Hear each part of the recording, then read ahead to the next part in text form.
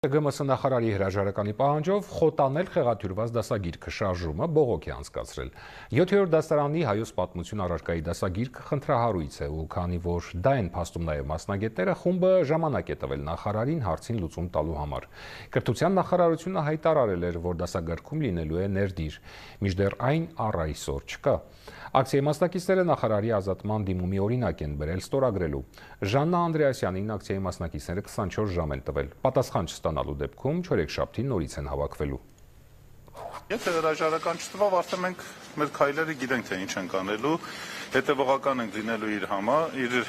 նկատմամբ եւ հասնելու ենք այնտեղ, որ ինքը անպայման հրաժարական տա։ Նաեւ պետք է խոտանել այդ դասագիրքը, քանի որ կեղծ գրքով կիսատ գրքով սերունդը դաստիարակել չի լինում։ Կիսաճշմարտություն չի պիտի ասել սերունդներին։ Կիսաճշմարտությունով մենք կործանելու ենք մեր ապագան։ Հիմա իրենք առանց ժողովրդի կարծիքը հարցնելու, առանց մասնագետների կարծիքը հարցնելու մի դասագիրք են դրել սեղանին, որը իրենից ոչ մի բան չի ներկայացնում, որը Թուրքիայի պատվերն է